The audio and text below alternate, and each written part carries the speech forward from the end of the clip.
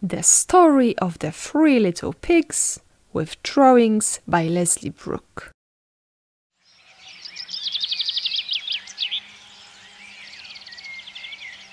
Once upon a time, there was an old sow with three little pigs. As she had not enough to keep them, she sent them out to seek their fortune.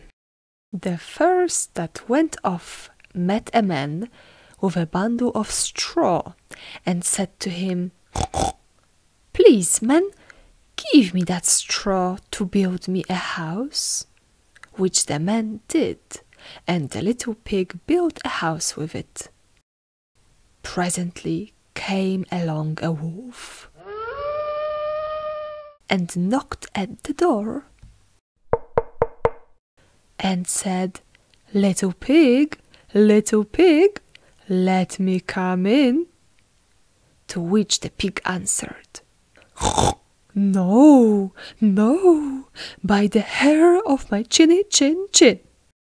Then I will huff, and I will puff, and I will blow your house in, said the wolf. So he huffed, and he puffed, and he blew his house in, and ate up the little pig. The second pig met a man with a bundle of furze and said, Please, man, give me that furze to build a house. Which the man did, and the pig built a house. Then along came the wolf and said, Little pig, little pig, let me come in. No, no, by the hair of my chinny chin chin. Then I will puff, and I will huff, and I will blow your house in. So he huffed, and he puffed, and he puffed, and he huffed, and at last he blew the house down and ate up the second little pig. The third little pig met a man with a load of bricks and said, Please, man, give me those bricks to build a house with. So the man gave him the bricks, and he built his house with them. So the wolf came, as he did to the other little pigs, and said, Little pig, little pig, let me come in.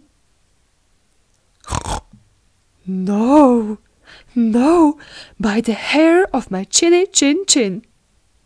Then I will huff, and I will puff, and I will blow your house in. Well, he huffed, and he puffed, and he huffed, and he puffed, and he puffed, and he huffed, but he could not get the house down.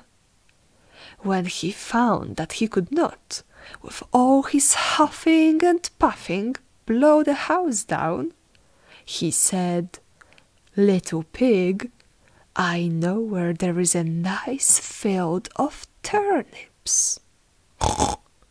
Where? said the little pig. Oh, in Mr. Smith's home field. And if you'll be ready tomorrow morning, I'll call for you and we'll go together and get some for dinner. Very well, said the little pig. I will be ready. What time do you mean to go? Oh, at six o'clock. Well, the little pig got up at five and got the turnips and was home again before six. When the wolf came, he said, Little pig, are you ready?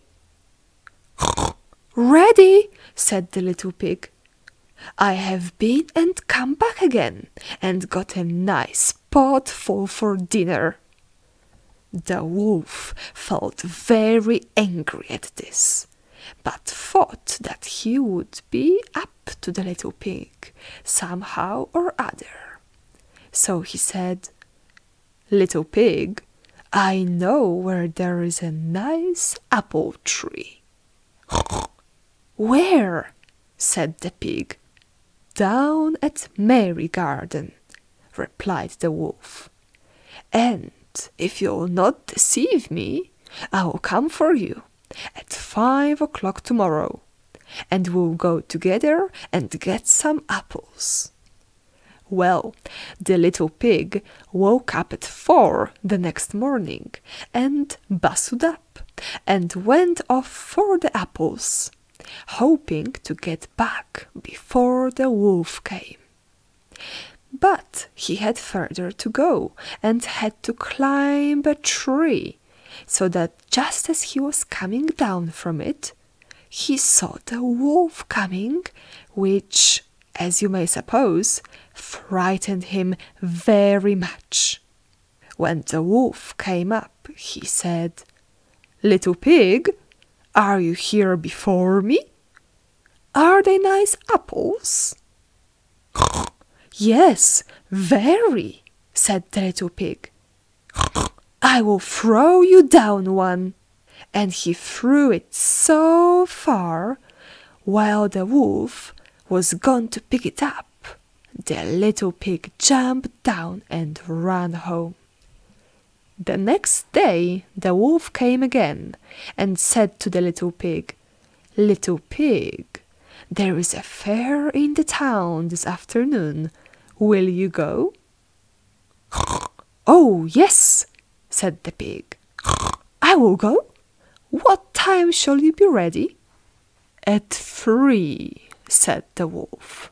So the little pig went off before the time, as usual, and got to the fair, and bought a butter churn, and was on his way home with it when he saw the wolf coming. Then he could not tell what to do.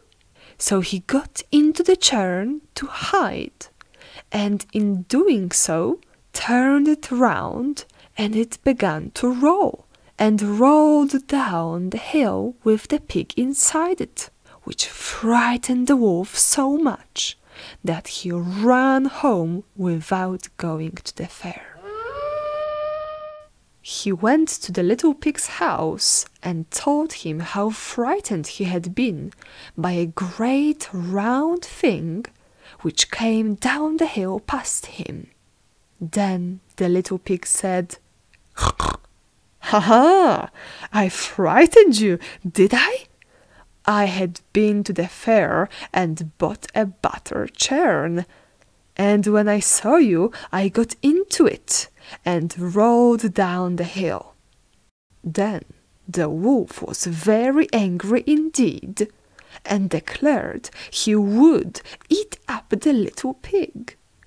When the little pig saw what he was about, he hung on the pot full of water and made up a blazing fire.